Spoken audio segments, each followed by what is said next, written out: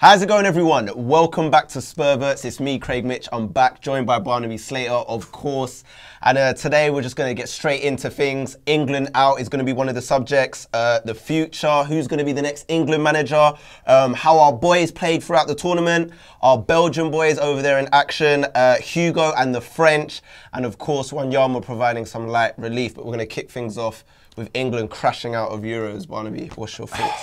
Well, obviously this is a Spurs channel. This is Spurverts. We should keep it, you know, tight to Spurs. But the reality is, life is so depressing today, Yeah. and everything feels so inevitable. Obviously, you and I have already had a row on text about this. Yeah. I'm obviously a lot older than you, so this to me is just another roll on.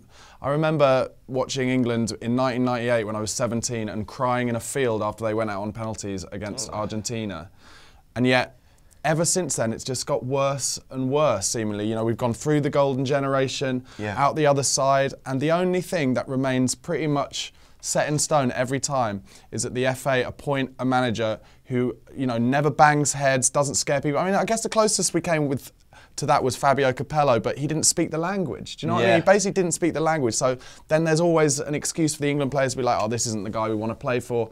And Roy Hodgson just, you know, you know, I'm bringing it back to Spurs. We had five Spurs players in that team, and we see them week in, week out. They know each other's games. They know where they're going to play. But then for England, he plays Alli out of position. He doesn't play Alli where he can do his most damage. Yeah. And because of that, Kane's got nowhere near him. He played this three up front last night, which I couldn't believe, where they were, you know, the two wingers were on the sides, Kane completely isolated, and then he puts him on free kicks and corners when his confidence is shot anyway because he's not getting any chances, not scoring any goals. Yeah. And he becomes a scapegoat. He's been the scapegoat for the whole tournament, I think. And, you know, obviously Hodgson has gone now, so there's no need to talk about that. But I just fear that it will be much of a muchness again. They'll go for Southgate because he's the safe choice, and he's not going to inspire them either. Before we get on to the future, so so who is to blame? Who's to blame? Loads of people, like you said, from the previous generation said, oh, we need to get the likes of Lampard out, Gerrard out. These guys are too old. We need some youth injected in there like Germany did three, four years ago. We need to usher in the new blood. We've done that, and it's and it's even more embarrassing. We've reached a new low, losing to Iceland. Yeah, to me, to me, the uh, the blame lies squarely at the uh, the suits of the FA. It really does, and I'd like High to, up. Uh, yeah, yeah, right up there. Because to me, you know, they all sit on massive pay paychecks, and they're kind of old men. They've been there for years, and they never, like I kind of alluded to, they never appoint the man who would would change things. It was Brian Clough back in the day who should have got the job, Yeah. and uh, since then they've gone for safe pairs of hands, and I fear that they will again. I'd like to use Italy as an example. We've talked about this. Yesterday, Italy absolutely dominated Spain, outplayed them with 11 players on the pitch, who none of whom you would say are, apart from maybe Buffon, are top, top players. Giaccherini. Giaccherini from What? Sunderland is an example. The reason why they can do that and the reason why they outplayed Belgium earlier in the tournament as well is because Antonio Conte, their manager, is a winner. And that's He is. scary for us to say because he's going to Chelsea and he's going to rip it up there because he's a, a real winner and he won't accept egos and he'll do it for what's best for the team, just as Leicester have done this season. Yeah. And England need to do that. They need to find a guy who's going to mould a group of players, put them in their right positions for a mm. start, and mould them into a team. And also, I kind of think that it needs to be someone who's going to change it from the bottom up. And I'll give you this one Jurgen Klinsmann, Spurs legend, I'm not just saying it because of that. Yep. When Germany were at rock bottom, they lost 1 0 to England in the groups of the Euros in 2000. Neither Germany or England got out that group in the end. Uh, Germany came bottom of the group. They appointed Jur- Jurgen Klinsmann, and he changed things from grassroots upwards, put it all in place so that everyone was playing exactly the same type of football Yeah. In their right positions as a team in one formation. And as a result, uh, he was manager during uh, the World Cup in 2006 in Germany. They got to the semi-finals, didn't quite make the final. He stepped aside for his assistant Joachim Löw to take it, and they won the World Cup after that. We, I wouldn't go against whether a German would take the job or not. I wouldn't go against Jurgen Klinsmann. He's an Anglophile. He's been here. He loves it here. If he fancied it, I'd go for him because he's done well in So America. you've as moved on to the next topic, which is you know I- potential manager. You're yeah, saying it all links into one one another, doesn't it? Really, I, I, You're saying I would- Klinsmann? I think he has to be high up on the list. Uh, I did do, well with the USA. He's done well with the USA. He got them. Uh, he did really well at the World Cup with them a couple of years ago.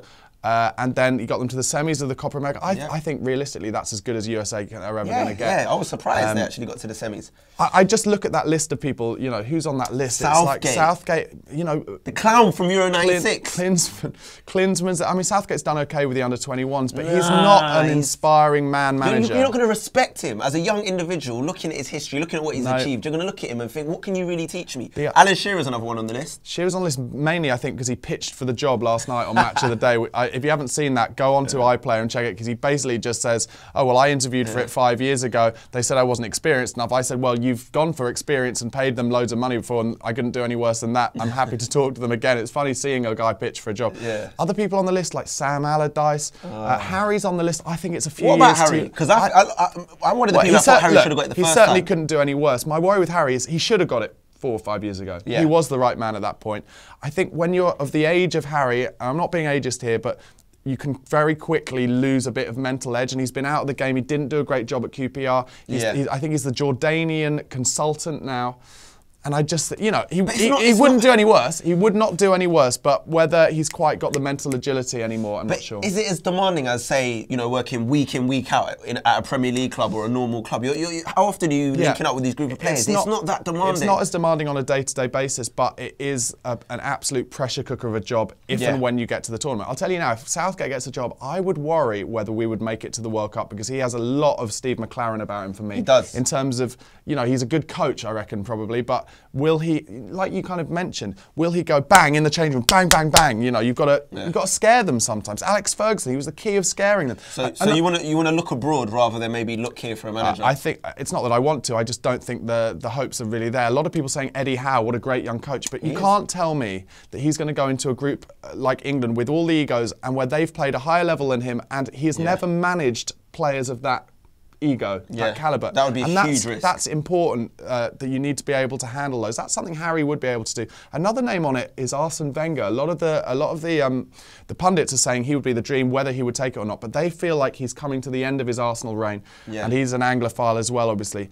I, I don't think he'd take it, but if he did, at least you know he'd get them playing the right way. You know, he'd get them Yeah. playing good tempo. It would be a uh, philosophy, stuff. It would be a philosophy, absolutely. All right, uh, let us know in the comments below if you think we should go abroad for a manager or if you should, you know, stick here. All Martin, right. Martin Jol is also on that list. Oh my god. I mean, Martin Jol, legend at Spurs, did a great job, but it just shows, I think for me, the, the barrel is being scraped because Martin Jol has just won, I think, the Premier League in Egypt. uh, Oh, at is a, that where he is? A club there, yeah. And, you know, that is a, a, barrel scraping at its worst. I That think. is Although low Big Martin. Jol, he did a great job at Spurs and he was unlucky. Let's talk about our boys. So we touched on them briefly at the top of the show. Um, I mean, who performed and who didn't perform? I mean, I think Eric Dier had a great tournament. Oh, amazing tournament. And, and the fullbacks. Yeah, yeah, but just to keep on Eric Dier for a second, I think I think it summed it up a little bit for Hodgson and Gary Neville, his assistant, and Ray Lewington.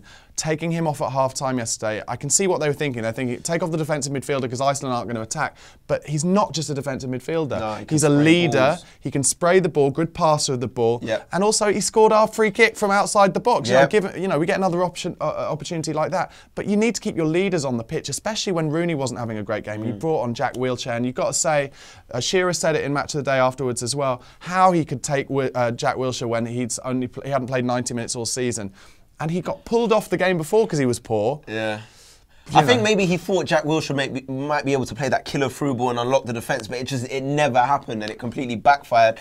Uh, the fullbacks. Yeah, I thought- Walker had a very good tournament in my opinion. I think he did. I think they're both getting a little bit of stick for last night, but unnecessarily. I don't think they did anything. I mean, the whole wrong. team were, were, were poor. What I would say about Kyle Walker and Danny Rose, and this is improving, and I've said this um, on Spurred on in the last few months, that their, their final ball, their delivery has improved a lot. At Spurs, Yep. um, it's been a very obvious thing in the last four or five months of the season that they've been told when they get to the byline, cut it back for the on-running midfielder. So think of Lamela's goal against Man United as a Yeah. perfect example of that. Dele coming onto the ball for midfield a lot.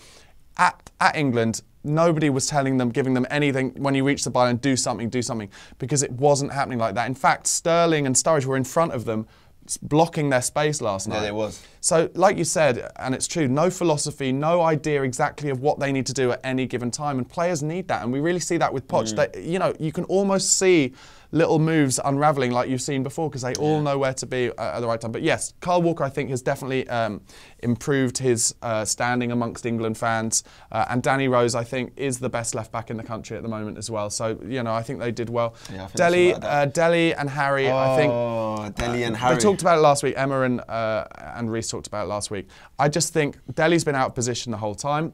Uh, he needs to be further up the pitch, not being given so much responsibility. The 4-3-3 that Roy was was playing the whole time, I, I just cannot fathom it because pretty much I don't know. You tell me, Craig. Pretty much every single player in that England team plays a 4-2-3-1 at club level. Yeah. So why are we playing this 4-3-3? Play a 4-2-3-1, Dier and Rooney, and then you can have Dele playing either off the left, which is where he scored those goals against West Brom and Everton, making those runs in behind the front Yeah. man, or or behind the front man, behind Harry I think this is a problem that Roy's just trying to accommodate too many names in the yeah, side, and he's absolutely. trying to be a people square pegs, pleaser. square pegs, round holes. I just don't understand. And uh, but the, what I will say about uh, Dele Alli and Harry Kane is, I just don't feel like they were playing with that that no fear attitude that Yeah. they've had throughout the season. Yeah. And it is a question of this is you know the Euros. It's a bigger stage. There is a lot more pressure. It's not just Yeah. a club. It is the nation. But I feel like they should have just played with no fear. They- need a, they need absolutely right, and they need a manager who takes that fear off them. Yeah. Who says to them, "Go out and play," and makes Play them your game. believe that as well.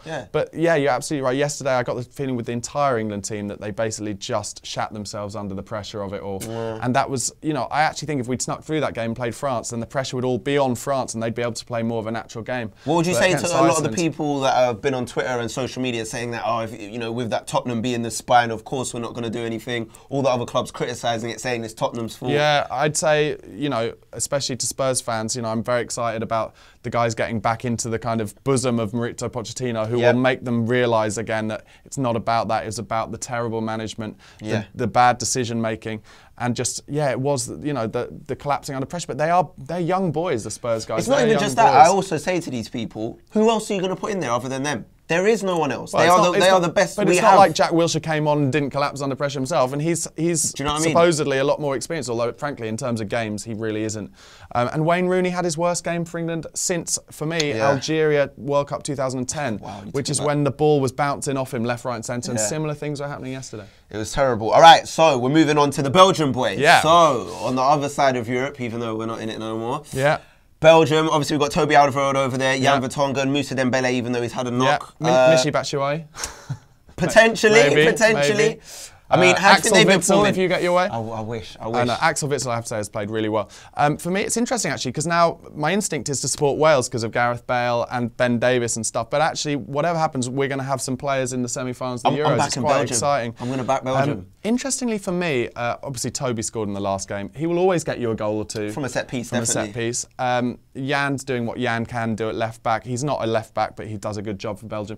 But Moussa hasn't been getting in the team since the Ireland game. They beat Ireland 3 0. Then I think he got a bit of an ankle knock. Yeah. And um, Nainggolan and uh, Witsel are still in, and uh, Fellaini plays as well. For me, if they bring Dembele in for the Wales game, Wales are in big trouble because, as we all know, he's a beast. You can't get the ball off him, Yeah. and he makes it a lot easier for his his teammates. I would back Belgium in that game, but it won't be easy. Remember I can't get I can't get my head around him not being one of the first names on the sheet. Though, I think he has had a knock. It must be that. It must be that. I think the, the manager Wilmots knows that he made a mistake not playing him in the first, First game, yeah. Uh, and then he got a knock in the Ireland game. But um, They have got a wealth of talent though. they've got a wealth of talent. Hazard's, Hazard's now coming back into it. I would say though, they're going to be wary of Wales because Wales did turn them over in the qualifying. Okay. So it could be a tight Do you game. feel like they found their form after winning so emphatically a little in their bit, last game? a little bit. I felt Hungary were a bit naive and kind of attacked them. Like Yeah. Hungary had a lot of chances. It could have ended like 4-2, 5-2. But Wales won't do that. Wales will sit tight and then Mm. they'll break and give it to Ramsey and Bale, who, who they play in like this weird uh, Christmas tree formation where Bale and Ramsey just get free reign to do whatever Yeah. they want behind. Christmas tree formation. It is. It's like a 4-3-2-1. That's what it is. It's a- Okay. we call that back in the day Christmas tree formation. okay. Um, and uh, Wales could nick it, but it would be tight. I think if it went to penalties, I'd back Belgium. Okay, but overall, you think our boys have done well there? Definitely, oh, absolutely. And, and Toby Alderweireld, it's I'd love them to get a bit of a rest, but uh, he just gets better and better and better. Oh, what does, an unbelievable player. The, the best 12 million, you know, Spurs have ever spent. All right, moving on to our captain over in France, Hugo, yeah. Hugo. I mean, how do you think he's performed? How are France performing He's generally? made he's made a couple of very uh, vital saves. You know, if you Mm-hmm. compare him to Joe Hart, he hasn't made any clangers, and Joe Hart threw two in Yeah. for England in four games. It's mortifying as a goalkeeper. How do you feel about you know the goalkeeper being the skipper, leading from the back? I mean, even for Spurs, I've never really been convinced with that. I feel like the leader needs to be outfield. But let's not forget, I think, well, what Hugo obviously is, is he's a leader by example rather than a, a big baller, shouter, you Yeah. know, communicator.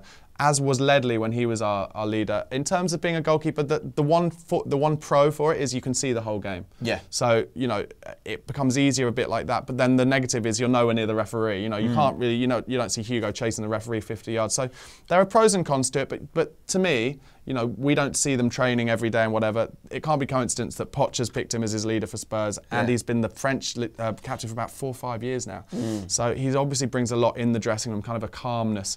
And frankly, if only Joe Hart had brought that level of calmness, Oh, and then we wouldn't have to see him punching himself in the head after throwing in another goal last night. Knocking that dandruff out straight for those head and shoulder. So. Hugo, I think Hugo's done well. The pressure has been big time on France. Second half against Ireland.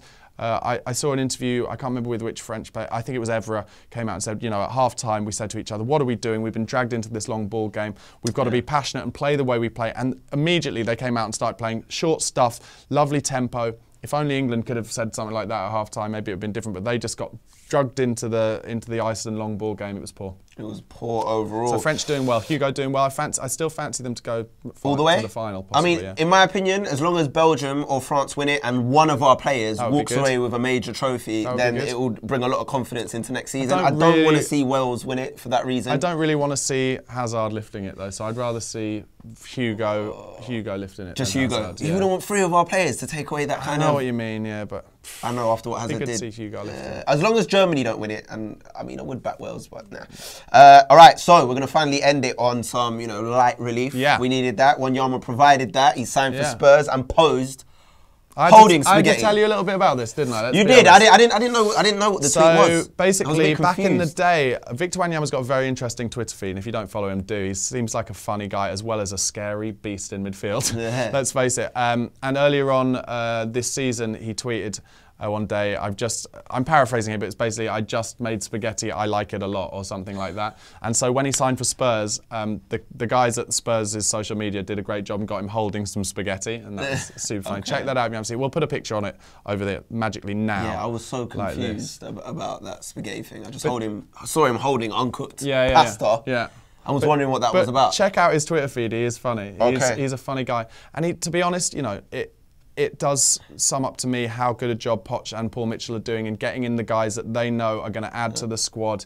Um, already, I think Jan Vertonghen tweeted Victor Wanyama saying, you know, welcome to Welcome, Spurs yeah. and all that, trying to keep that bonding going. We need that And as I've said, I know, I know, you know, you're still feeling a little bit delicate after the end of the season, am. but I think if we can get off to a good start, Everton away, get a get a. Well, it won't be easy, but if we could get a win there and, and take it on, it could be another great season. a striker. We just need a bloody striker. That's what we need. We'll get a striker. Also, worry. also before we had it, I thought it was interesting that he was wearing a shirt and holding up a scarf because they can't reveal the new kit. Yes, I badly right. want to see that new kit. They The had him in a training kit- the training kit They had him in a alright. training kit. Were you gonna gonna get your hands on the training kit maybe? Well, you know, if someone sends it to me for free. Oh, you don't want to spend a bit of on it, no.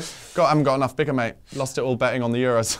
All right, guys. So this has been Spurverts. Let us know in the comments below what you think of England being out. Unfortunately, uh, who you think should be the next England manager? How our boys played the Spurs boys, our Belgian boys. What do you think of their performance? Hugo is he captaining France well? And of course, Victor Wanyama and the pasta. Let us know in the comments below if you've enjoyed the video. Make sure you drop it a like. If you're new to Spurred On, make sure you subscribe. The new season's coming. We're gonna have loads of new content. Keep it casual. Keep it casual. Hello and welcome to an episode of Tottenham Transfer Talk with me, Reese, and Emma.